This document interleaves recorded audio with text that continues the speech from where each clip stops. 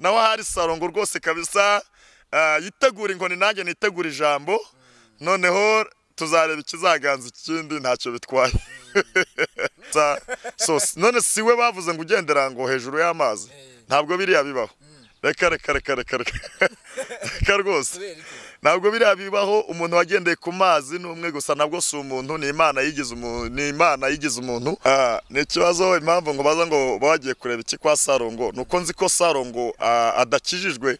Sarongo ntakijijwe sarongo nta gakiza afite. Cyakora ntituzi icyo imana iri kumugambiraho. Birashoboka ko mu minsi izaza yazamuha agakiza ariko iyo wagiyeyo ah, mbese bijya binyobera uburyo wagiye kwa sarongo nkibaza ari cyo wagiye kurebayo kandi utagiye kumushakamo iby'agakiza. Mbese ukingira bakatagafite abana b'umugisha arambaje tese koko uwo yaba ari umukozi w'imana cyangwa ntabwo yaba ari we? Ntabwo yaba ari we. Icyo usabwa ni ukuba maso ukabera amaso urugo rwawe uwo mwashakanye utegetswe n'ijambo ry'imana kumukunda ndetse n'itegeko ryacu rya leta bwite. Urasabwa rero kuba maso ukabera urugo rwawe maso kuko aba bahanuzi bo bariho ariko bitegure ko mu minsi mike imana igiye kubahonda. Yego igiye kubahonda rwose. Ubwo rero urasabwa kuba maso nimba ugendera muri izo ngeso ubereyeho gusenya ingo za bagenzi bawe ukababwira ko atari abagabo babo cyangwa atari abagore babo uri mu buyobe hindukira niko imana ishaka. Bibiri na makumyabiri na gatatu muhitegure imana eh, umuhanuzi ni ngombwa kwaka ituro. Nkababwira ko umuhanuzi atari ngombwa kwaka ituro. Barambaza none se nimba umuhanuzi umubwiye ati nsengera akaguca ituro runaka ngo ibitambo runaka ni ngombwa. Narabahakaniye mwongere mu byumve n'abatarabyumva mu byumve umuhanuzi wese uzakwaka ngo ituro ry'igitambo n'ibiki uzamubwire ko atari umutambyi. Uzamubwire ko atari umutambyi. Kandi abo bahanuzi ubundi mwababyeyi ikibagenza. Ah, ni nka birya nyine wambwiye byo kwa sarongo ariko nawe ngiye kumufatira umwanya. Ntugire ikibazo rwose. Ndamufatira umwanya. Ntibabanze kureba ibyaha bakerekwa ibintu biri hehe? Biri ku ruhande by'ibitangaza byo gukundisha abantu isi. Imana yarambwiye ngo nzababwire iyo mesaje rero. Masaje mbahaye. Ni iy'uko uwiteka agiye gushyira ku karubanda. Reka nizere ko gahunda zimeze neza nizere ko bukomeye muri nta- natwe nta kibazo na kimwe dufite turakomeye turashima imana. Ni albert niyo sawa ni baraka tv kuri screen zanyu mahawe na umugabo tugiye kuganira. Papa umeze ute? Se Ah, ndi gushima imana. Imana ikomeje kubana nanjye. Urakomeye urashima imana. Ndi gushima Mm, nta kibazo. Nta kibazo na kimwe mfite. Kandi nubwo cyabaho umuririmbyi we yaravuze ngo naho ndiho naho napfa nzi ko nkundwa n'uwiteka. Yesampa ibyo nkena byose nta kibazo. Ubwo rero bishatse kuvuga ngo ku mukristo nta kibazo. Mm, mukristo nta kibazo. Eh, dushyira imbere y'imana kugira ngo tutangire kuganira. Eh, mwami yesu imana ikomeye imana ikiranuka imana iri hejuru y'amajuru turagushimiye cyane kuko witeka nyagora ku ngoma wemeye ko tugera. Data wa twese uri mu ijuru eh, kuri iyi kamera witeka baraka tv turasenze kugira ngo uyu mwanya tugiye kumara witeka turi kugirana ikiganiro unyemerere kirisito nyagora ku ngoma kigire aho kivana abantu kandi kigire aho kibageza mu izina rya Yesu kirisito haba mu buryo bw'umwuka haba mu buryo bw'umubiri uwiteka nyagora ku ngoma Eh, uhindure amateka ku buzima bw'ubwoko bwawe kandi uhindure amateka data wa twese uri mu ijuru ku buzima bw'abana bawe. Urakoze kuko mvishe gusenga ukaba ubana natwe kuva dutangiye kugera dusubitse mu izina rya Yesu kirisito w'i nazareti. Amen. Amena uyu mugabo tujya tuganira kabisa. Ah, ntabwo ari ubwa mbere mubonye kuri baraka tv ubwacu twema tuganira. Ambaza ngo mba nagiye kureba iki kwa sarongo icyo mbaza ngo mba nagiye kureba iki kwa sarongo Ah, ni ikibazo impamvu ngo baza ngo bagiye kureba iki kwa sarongo ni uko nzi ko sarongo ah, adakijijwe sarongo ntakijijwe sarongo nta gakiza afite. Cyakora ntituzi icyo imana iri kumugambiraho. Birashoboka ko mu minsi izaza yazamuha agakiza ariko iyo wagiyeyo ah, eh, mbese bijya binyobera uburyo wagiye kwa sarongo nkibaza ari cyo wagiye kurebayo kandi utagiye kumushakamo iby'agakiza. Mbese ukingira bakatagafite eh, impamvu mvuga ngo ntagafite ni byo mbona akora. Ah, nzi ko mu makuru mfite nawe ntakijijwe nshingiye ku byo mbona akora hari igihe njya mbona ngo ari kurwana n'abahanuzi. Nkibaza ukuntu arwana n'abahanuzi bikanyobera mbese eh, muri ubwo buryo. Oya ntabwo mbyemera ntabwo mbyemera kabisa. None si we bavuze ngo ugendera ngo hejuru y'amazi. Ntabwo biriya bibaho. Reka reka reka reka reka. Reka rwose. Ntabwo biriya bibaho umuntu wagendeye ku mazi ni umwe gusa nabwo si umuntu ni imana yigize umuntu ni imana yigize umuntu kandi atari imana ari kirisito yesu. Yesu ni we wenyine wagendeye ku mazi. Uzi ko hari uwagerageje nawe kugendera ku mazi? Ah, ngo asabye yesu imbaraga ariko kubera gushidikanya ko ari ku murimo bituma ananirwa. Amaze kunanirwa kubera ko ari umuntu ararigita. Rero saro ngo sinumva ukuntu yajya hejuru y'amazi kabisa. Nzakujyaneyo abikora ureba? Yabikoze njye ndeba. bo tuzabisengera. Tuzabisengera nzabifatira umwanya mbisengere.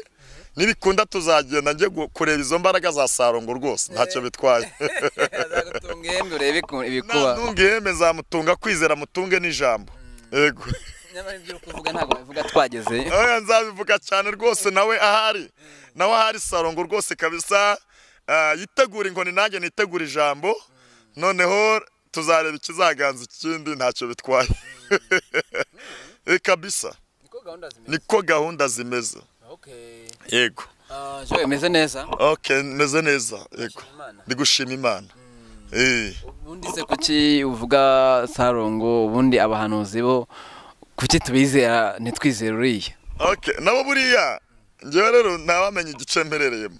Nanjye ndi umuhanuzi kuko uzi ko nyantanga ubuhanuzi bugiye butandukanye hirya no hino. Ariko burya nubwo tubona bose ari abahanuzi ntabwo bose bari mu muhamagaro w'imana. Yego. Eh, kuko hari abahanuzi eh, bagaragara nk'abari mu muhamagaro w'imana cyangwa se bagaragara nk'abakozi b'imana ariko wareba imirimo yabo ugasanga n'ubundi bari gukora nka sarongo. Yego. Eh. cyane kabisa rwose. Bagakora nkawe se ngo njya kwa rutanga ko nta bwoba mfite ateye ubwoba.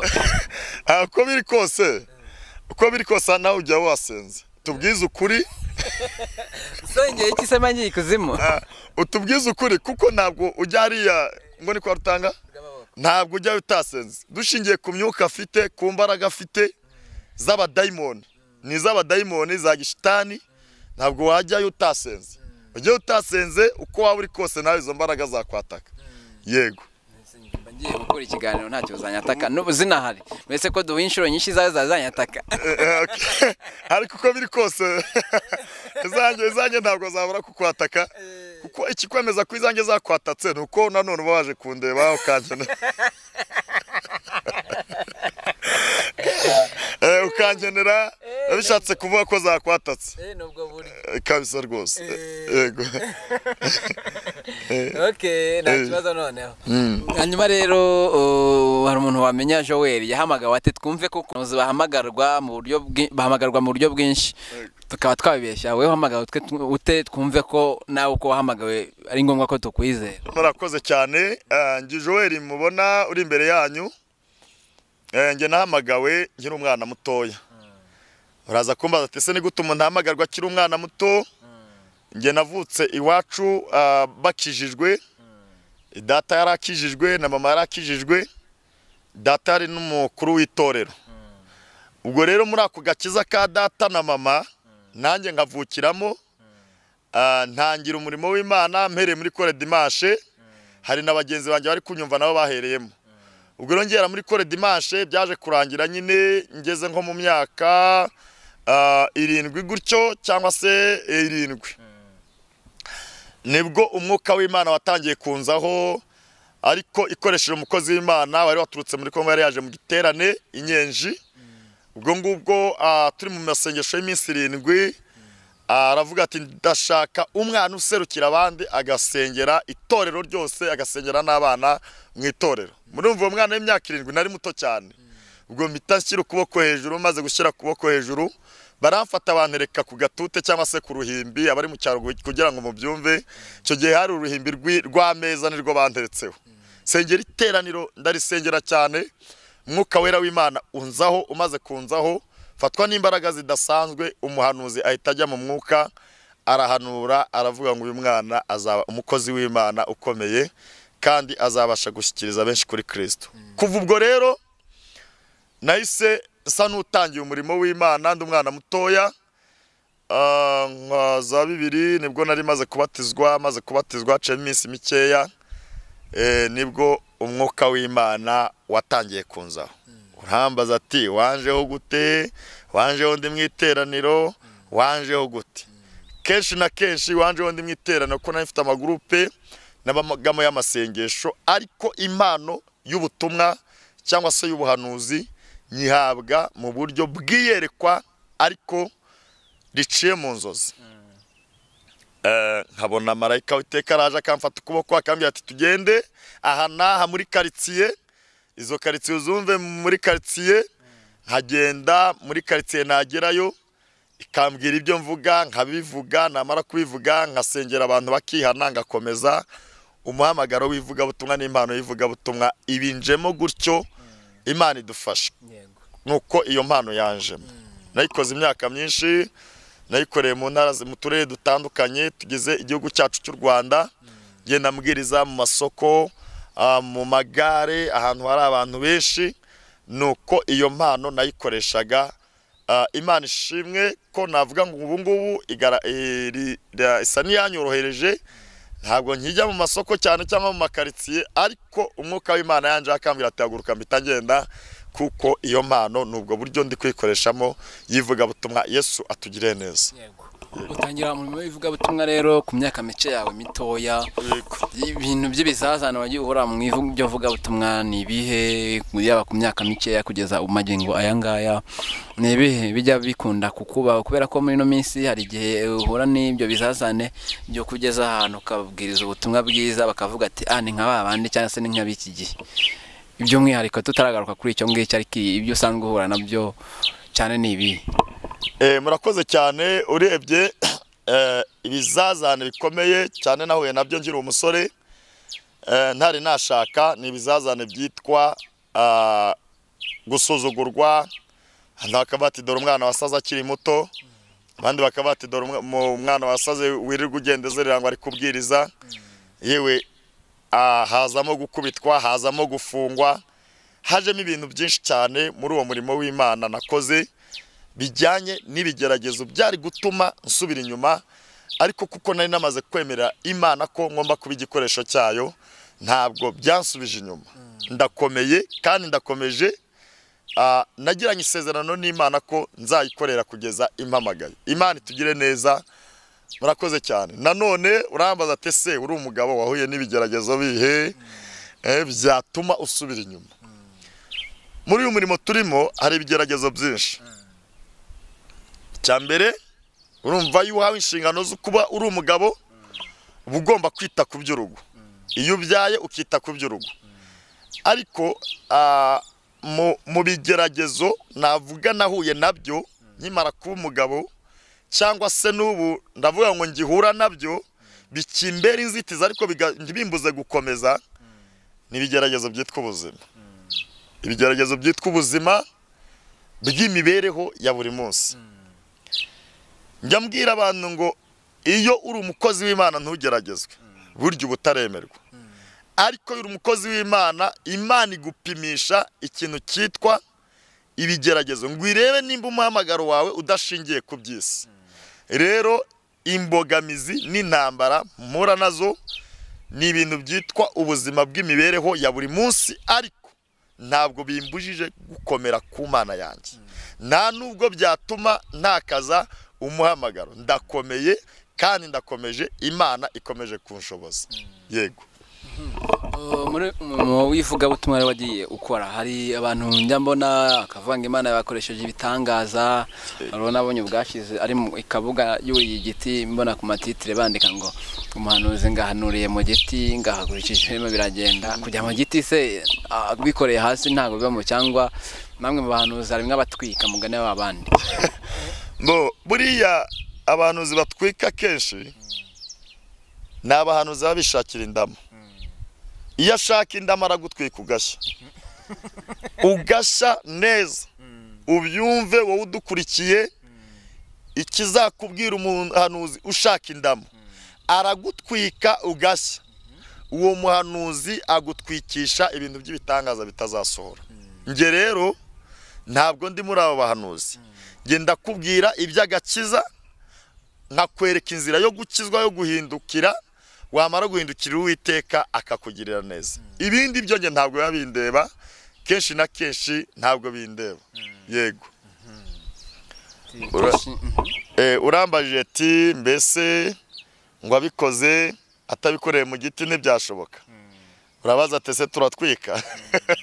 Nagusobanuriye ko batwika. Ariko buriya ushobora kubwiriza bitewe n'umuhamagaro. Hari igihe imana ikubwira turira igiti rwose.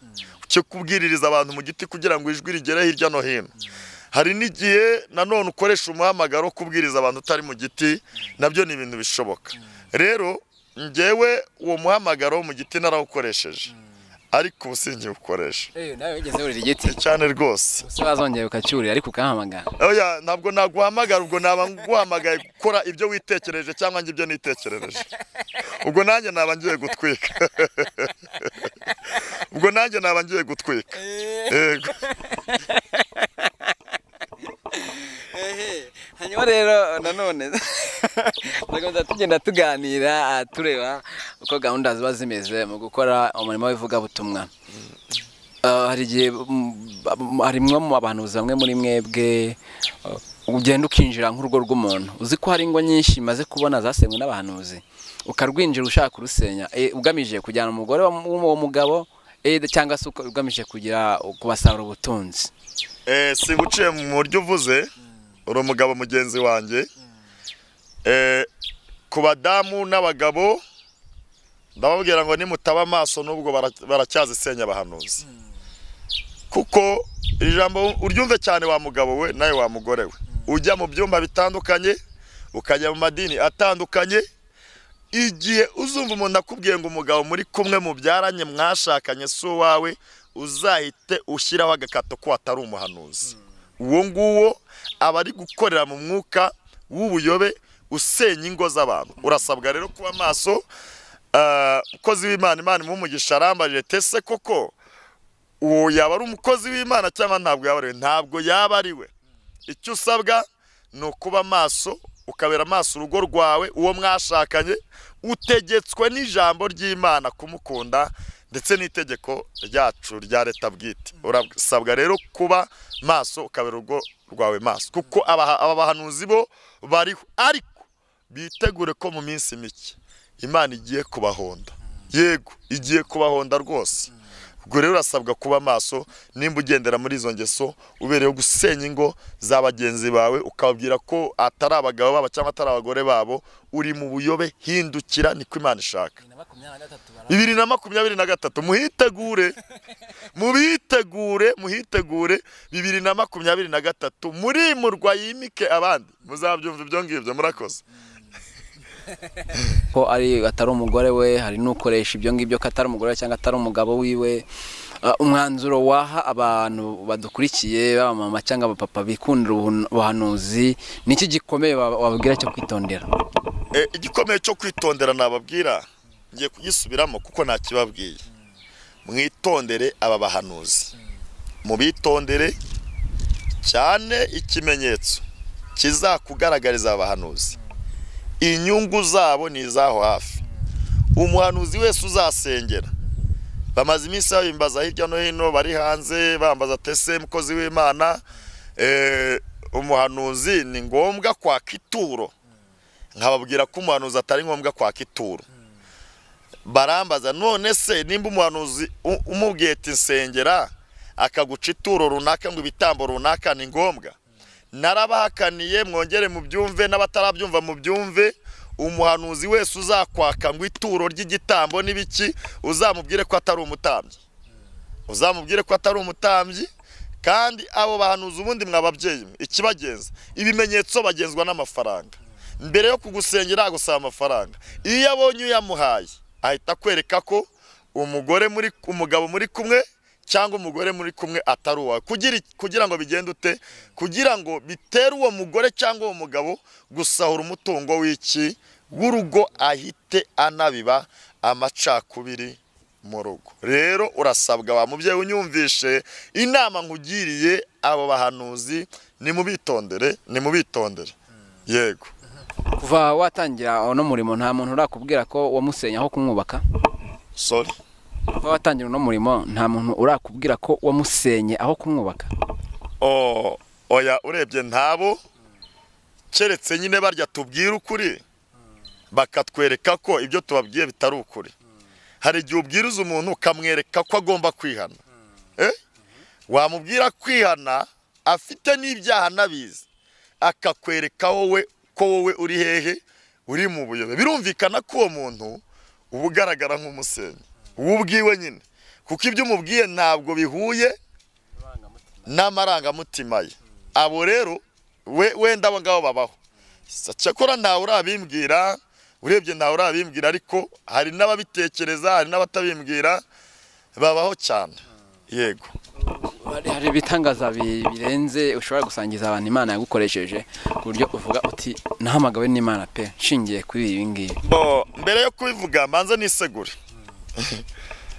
Mbanze nisegure hari abavugabutumwa benshi hari abashumba benshi. Eh, imana ikoresha ibitangaza. Eh, babaza bakavuga ati njye nakoze ibi nakoze ibi nakoze ibi. Ugasanga we yigize igitangaza nyine. Mbere yo kubikubwira si njyewe wabikoze. Ubwo ako kantu kakire. Ni imana yabinkoresheje. Ndakubwira bike muri byo sibyo kugira ngo wenda utumva ko nshatse kukubwira byinshi mu bitangaza imana yankoresheje. Icya mbere yakinkoresheje ndi gisenyi eh, ahantu bita kwikora mu isoko ryaho. Eh, hafi aho ngaho ahantu eh, hepfo gato ahantu basa n'abita ku iswaswara eh, ni ho nari ndi kubwiriza mu muhanda aho ngaho. Eh, nabwirizaga ahantu hari abantu badakijijwe maze kubwiriza haza eh, abantu bari banyweye urumogi banyweye ibintu by'ibiyobyabwenge barambwira ati bazana ikimuga ki- ki- kiri kugenda n'imbago. Barambwira ati iki kimuga nikitagenda nawe ntabwo ushobora kuva aha ngaha. Numva ni ihurizo rikomeye cyane. Ni nka nyine wambwiye byo kwa sarongo ariko nawe ngiye kumufatira umwanya. Ntugire ikibazo rwose. Ndamufatira umwanya. Kasore sarongo nimufatira umwanya tugasenga. Imana ikanyemeza ko tugomba kujyayo tuzagenda ntugire ikibazo. Noneho rero abo bantu baje nabo badakijwe bagaragaza izindi mbaraga. Noneho mpita mbwira cya kirema bati niwuname pfukama. Ikirema baragifasha kirapfukama. Bamaze kugifasha ndakibwira ati mvuga amagambo make ndavuga ati nzi yuko ushobora byose kandi nta kibasha kurogoya imigambi yawe. Nimba ubishaka iki kirema ntigihaguruke kugira ngo aba bantu bemere ko ndi mu muhamagaro wawe. Nkibivuga gutyo mbwira ikirema batihaguruka haleluya. Eh, ikirema cyahise gihaguruka. Eh, kimaze guhaguruka ikirema kimaze guhaguruka ndakibwira ati simbuka. Ikirema kirasimbuka. Ndakibwira ati jugunye iyo mbago kirayijugunya. Ndakibwira ati ngaho genda kwizera kwawe kuragukijije. Iki kirema nticyari gikijijwe. Ariko kubwo kwizera kwanjye haleluya. No kubw'umuhamagara imana yashyize muri njye. Kiragendeje imbago kirayijugunya abantu bavuza induru baravuga ngo ndi yesu. Ariko ntabwo ndi yesu. Simfite n'ububasha n'ubushobozi bwo gupfundura udushumi tw'ibirenge bya yesu. Sindi we ndi umuntu nkawe niko nababwiye. Barangije barambwira ati woya ati ibintu ntibibaho ni ubwa mbere tubibonye mu mateka. Icyakora uwo munsi aho nakoreye ivugabutumwa ba bantu barakizwa izina ry'uwiteka rihabwa icyubahiro maze ku maze ku, kugisengera kimaze kugenda kiragenda kigeze hirya baravuga ati biriya kiragaruka. Ahubwo kijugunya imbago kigaruka noneho ari kizima izina ry'uwiteka rihabwa icyubahiro kiba mu gitangaza cya mbere imana yankoresheje kigaragaza ko ndi mu muhamagaro. Imana ishimwe. Icyubahiro nta kintu cyakugushije ni iki? Kuvuga ati no murimo w'imana n'idanje no kuwureka birashoboka. Eh? bw'iki kintu ikintu cyakugushije cyangwa cyaguciye intege ukabona kirakabije cyane ni nk'iki?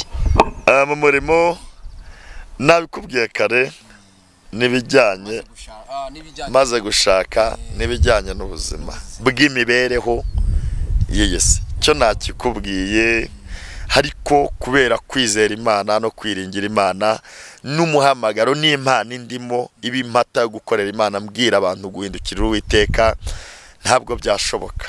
Mesaje waha abantu bavuga ba- ko bitumye kandi imana yabatumye kandi bari kwituma ni nk'iyi. Urakoze cyane abo bantu imana yambwiye ko bareba imirari batareba nk'abahanuzi. Bareba imirari ntabwo bareba nk'abahanuzi.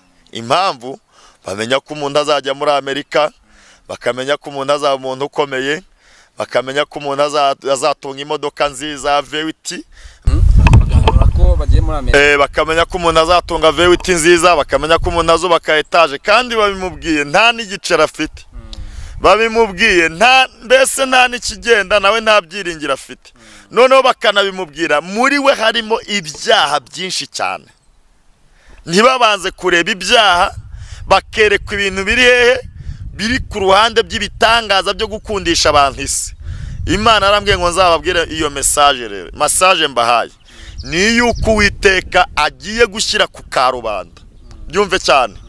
Agiye kugushyira ku karubanda kuko wihamagawe utahamagawe n'imana uvugirizwa induru ku karubanda kubera kuko ibyo uri gukora utari kubikoreshwa n'uwiteka. Ariko uracyafite amahirwe. We wamye ukorera uwiteka uracyafite amahirwe y'uko wahindukira kongera ugacira bugufi uwiteka ugasaba imana imbaraga z'ikindi gihe kugira ngo igukoreshe neza. Ariko nudahindukira iragushyira ku karubanda umere nk'abandi bose. Yego. Nari ngivuga mu bitangaza imana yankoresheje. Buriya nari ntarabirangiza bara- baraka. Baraka ikindi bitangaza imana yankoresheje muri kovide bibiri na makumyabiri nanone yankoresheje igitangaza nsengera umusazi iminsi itatu umusazi aba arakiza neza neza ndamusengera arakira ubu ni umugabo afite urugo afite umugore abyaye gatatu ameze neza mu busanzwe. Imana yarahabaye icyo kijya mu bitangaza imana yankoresheje imana ishimwe. Hari n'undi mwana nasengeye witwa jazera nawe baramuroze yirirwa ata inkonda yirirwa yiruka ku binyugunyugu nawe ndamusengera arakira imana ishimwe. Hari n'undi mu mama nasengeye ah, we nagize umugisha ngisengera abantu kuri telefone uwiteka akimpa ubwo burenganzira uretse ko ntakibufite utaza kumpamagara nawe binsaba ngo usengere kuri telefone. Ntabwo bigikunda Ah, ntabwo bigikunda. Ntabwo bigikunda nibikunda nzabibabwira. Ubwo rero ah, uwo muntu nawe ndamusengera za gake za gakenge ndamusengera arwaye mu nda nawe akira mu nda izina ry'uwiteka rihabwa icyubahiro n'abantu benshi twasengeye twagiriyeho umugisha turabasengera imana irabakiza imana yacu ishimwe kandi ihabwa icyubahiro mbabwira rero ngo sinjye ubikora nta nubwo bikorwa buri munsi. Kugira ngo byumve hari igihe wabyumva ukaba batuye umukozi w'imana reka muhamagare nanjye nsengere nanjye ndarwaye nanjye meze gutya. Njya mbwira abantu ngo umukozi w'imana nyamukozi w'imana ntabwo imana imuhoramo. Barya bavuga ngo imana ibo- bahoramo ngo ihora ibakoresha ntabwo bishoboka bafite izindi mbaraga bakorana na zo. Yego. Ni cyane rwose. Bariya bavuga ngo none nasengeye umusaza arakize ejo ndasengera ubu arakize ibintu ngibyo buri munsi bagahora bakora ibintu by'ibitangaza. Nibo nakubwiye basa na ba bapfumu bagaragara nk'abakozi b'imana atari abakozi b'imana. Yego. Mm. yego. Tugana ku musozo duhe nimero yawe. Eh, nimero yanjye zeru karindwi umunani. Kane umunani tanu gatanu rimwe karindwi icyenda. Zeru umunani kane umunani itanu gatanu rimwe karindwi icyenda. Ni izo ngizo. Yego. Urakoze cyane. Hanyuma reka nkubaze. Yego. Kare nabikubwiye yego. Ndavuga ngo abantu basigaye babapinga. Iyo ugeze ahantu bari kuvuga umurimo w'imana ukumva ukabona umuntu ntabwo ari kumva ibyo uri kuvuga. Cyangwa se ukabimubwira akakugaragariza ko abipinze. Byari byabaho ko umuntu aga- agaragaza ko ibyo bamubwiye yabipinze cyangwa yabiciye amazi mu mvugo y'ubu. Eh, byabayeho cyane cyane ndetse. Eh, n'ubu biracyabaho. Yego. Byabayeho biracyabaho ntibiranarangira. Ah, dushingiye ku by'imana mu muhamagara imana yaduhamagaye ntibizanarangira Eh, ntabwo bizarangira rwose.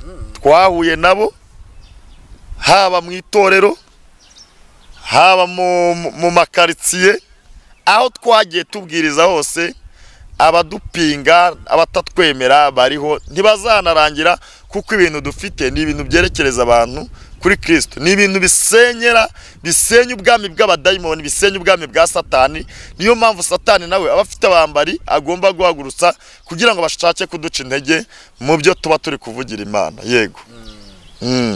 Ugakomezwa n'iki uri gukomeza gukora ibyo ngibyo? Kandi hari abantu bari kupinga ibyo uri gukora. Ikinkomeza cya mbere ni ijambo imana yavuganye nanjye ry'uko izabana nanjye mu murimo wayo.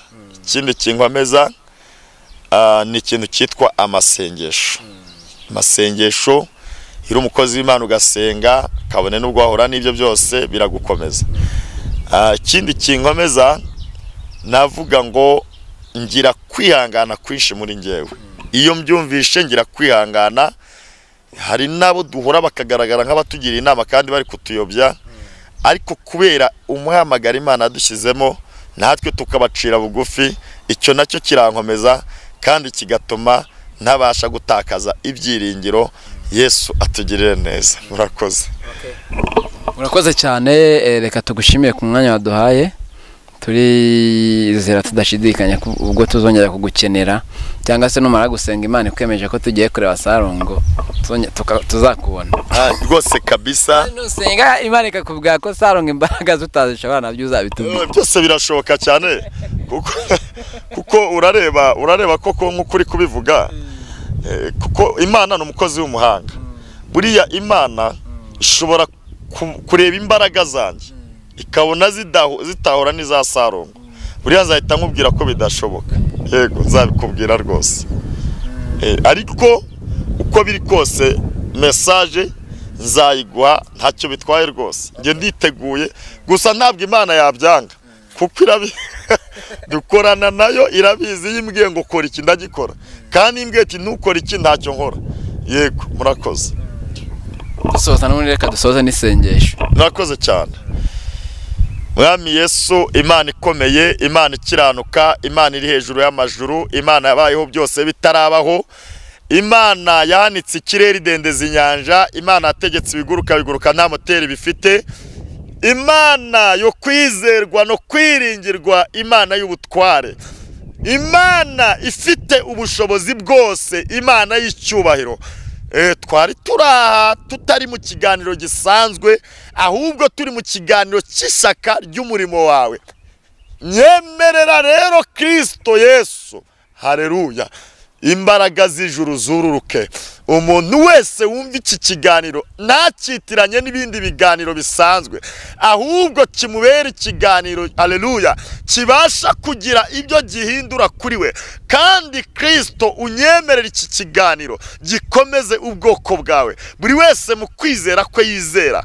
Haleluya mwami ugaragaza impinduka kuko uri imana ishoboye byose. Haleluya ndasenze rero kugira ngo unshyigikire kandi kirisito amena abumva iki kiganiro. Baba bari mu rwanda baba bari muri hanze y'u rwanda. Haleluya kibabera ikiganiro bung- bungukiramo byinshi kandi kibabera ikiganiro haleluya kibasha gukiza imitima yabo kandi kibashe kubagira inama. Gishorewe n'umwuka wera. Urakoze rero kuko wumvishe gusenga kandi urakoze ko wumvishe kwinginga mu izina rya yesu kirisito w'i nazareti. Amin. Amin. Amin. Murakoze cyane. Murakoze cyane. Yesu abaha umugisha. Kandi abagire neza imana ikomeze kubaha ubwunganizi butandukanye n'ubwo nabaha. Murakoze. Nta naho wazishakira ahubwo aho wazibariza nyine ni ahangaha ahangaha kuri iki kinyamakuru ubwo ni ho wazibariza nta naho wazishakira. Kuko navuga ngo iyi ngiyi ibaye indirimbo ya mbere nsohoye ku kinyamakuru eh, baraka tv ubwo rero turacyari gusenga imana kugira ngo ibihangano byinshi uwiteka yashyize muri twe n'ibindi azashyira muri twe. Uwiteka abashe kuduha abaterankunga. Reka mbivuge gutyo. Abashe kuduha abaterankunga kugira ngo indirimbo nyinshi dufite tubashe kuzikorera amawodiyo ndetse bi- birimbye n'amashusho cyane ko icyo imana yabivuzeho. Tutari twatekereza kuzihanga. Imana yavuze ko izaduha impano y'ubuhanzi. Ubwo rero uwiteka duhe abaterankunga tubashe kuzikorera amawodiyo n'amashusho mu izina rya yesu kirisito ubwo ngubwo ni mwashaka kuzumva aho muzozumvira bwa mbere zaba aya mawodiyo zaba aya mashusho bishatse kuvuga ngo ni kuri baraka tv ni ho muzazumvira bwa mbere. Murakoze. Murakoze Joy, abantu bari kutwumva rwose bumva babaha ibihangano cyangwa se babaha ubutumwa bwiza binyuze mu ndirimbo igihe ni iki ngiki cyangwa se igihe cyabo ni iki rwose? Eh, igihe cyabo ni iki? Ariko mutaza kumva inkunga mukambara nka ba bandi inkunga ya mbere mbasabye ni inkunga y'amasengesho. Eh, inkunga y'amasengesho igizana ibindi byose. Ah, birashoboka ko wantera inkunga y'amafaranga na byo biremewe. Ariko mbere yabyo ubanza usenge imana numara kuyisenga imana imaze kukwemeza ko ugomba nyine kuduha sapoti cyangwa inkunga y'amafaranga uzayiduhe. Ariko urabanza umpa inkunga y'iki? Y'amasengesho. Kuko n'umwe inkunga y'amasengesho aho uzaba uherereye hose ishobora guca mu zindi nzira eh, nanjye yancira inzira mu buryo bwayo nkaba nabona ubushobozi izo ndirimbo nkagira ute nkazikora noneho zikabasha kugera ku bwoko bw'imana. Igihe rero ni iki ngiki cyo kubagezaho ibihangano uwiteka yashyize muri nge ariko mbagiriyeho umugisha mwabimfashamo kugira ngo bibashe no kugera no ku bandi. Murakoze cyane imana ibambera umugisha. Murakoze.